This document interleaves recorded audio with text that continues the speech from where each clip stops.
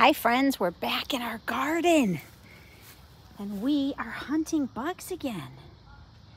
So the goldenrod has come in. Wow, how beautiful. No bugs yet though. It's too cool today. It's 71 in Chicago. Regular old little bee fly. But you know what we're gonna find? It's a caterpillar. We already saw him. He's right here. See that? It's a beautiful swallowtail caterpillar. See those lovely yellow markings on him? He's so beautiful. So let me grab a little stone just to hold this down so I can show you a couple cool things about the caterpillar.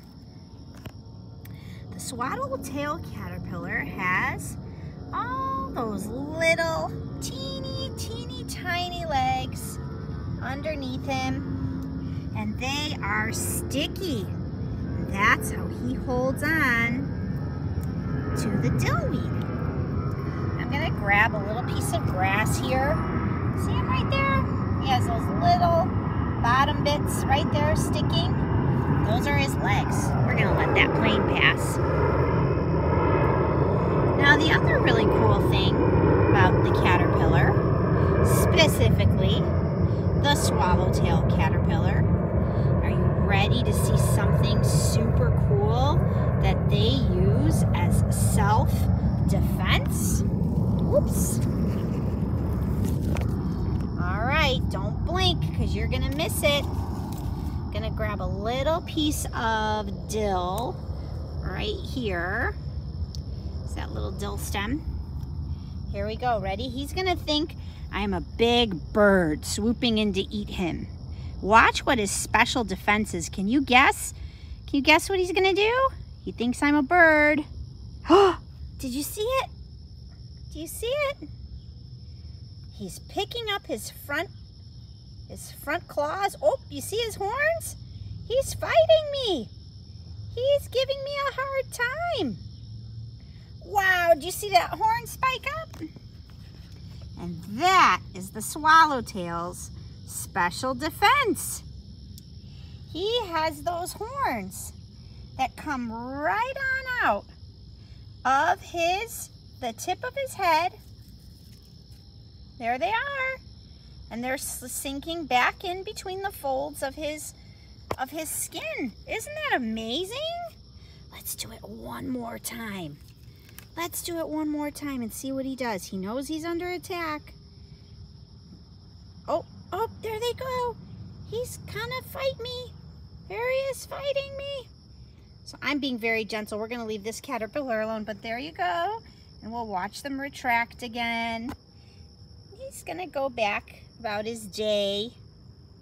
Probably gonna eat a little. So we're gonna put him right back here where he was. Nice and safe on the dillweed. So that is part of the self-defense of the swallowtail caterpillar. He has horns that come right on out.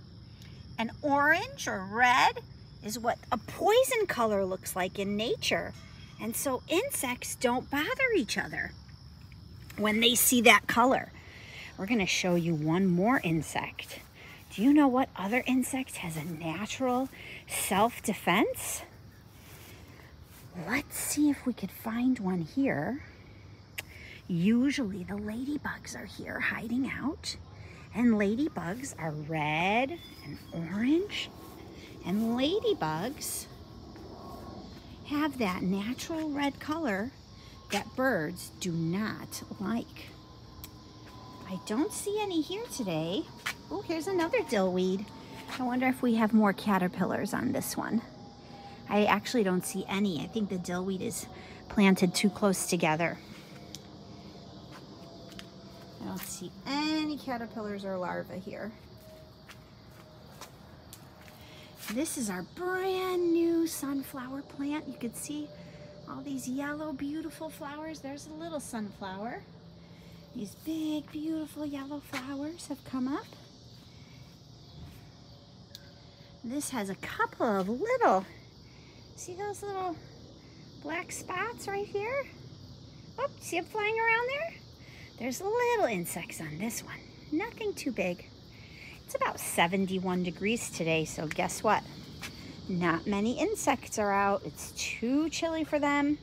They're either already hiding in their homes underground or flying up high in the heavens for the night. They fly up to the sky sometimes, certain species, and they just stay up there until a new day starts. So we're going to head in the house, make some dinner. There's some ants. I did not find, oh my gosh. Look what's happening on this sunflower. Do you know what those are? Those are bees. I've never ever seen this. Those are all little bees and they look like they're hibernating in this flower. Can you see them there? They're all hibernating. That's amazing. I've never seen this before. Never, never, never. This is the first time. Oh my gosh, that is amazing. Look at them. They are all just sort of, I'm gonna clean my, my camera lens a little. This is amazing. I've never seen this. Look at them. Perfectly colored to match. It's definitely cold out. So they're not flying around, retaining their heat, resting in the plant. I don't think they, they didn't come out of egg larva here. I think they're just resting and staying warm. Well, that is amazing. I've never seen this in my garden before. This is really a cool find. We're definitely gonna grow this plant next year. I don't see them anywhere else. No other bees gathering anywhere. Oh, oh, oh, this one. Those look like little bee legs right here, but they're not. They're just part of the part of the flower. That is really fascinating. I can't believe we found that. Let's go back and look one more time. I know the urge is to shake it, but we're not going to shake it. They're cold and they're resting, and we're going to let them rest.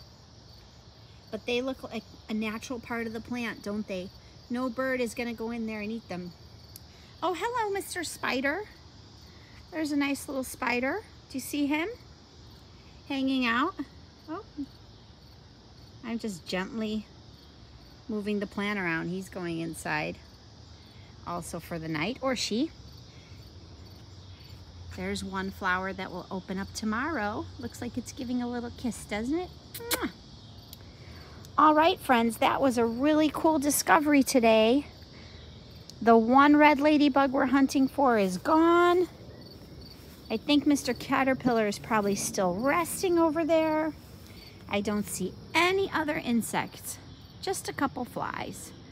All right, folks, I hope you enjoyed our evening walk through the garden, looking for insects. Oh, you could hear the cricket. Nothing here on this weed. There's definitely a cricket here. You could hear the cicadas too.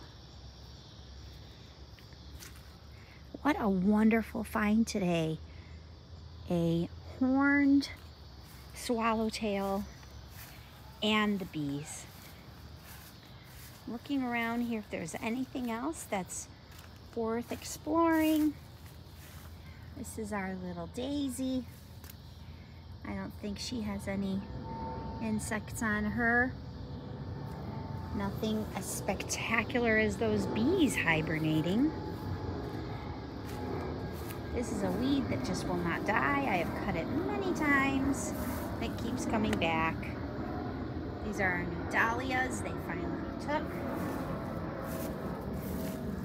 Our hydrangea needs to be trimmed a little even the hydrangea, which is usually very busy with insects. It's a sleepy day for them because it's cold. All right, folks, thanks for watching. Hope you had a great night.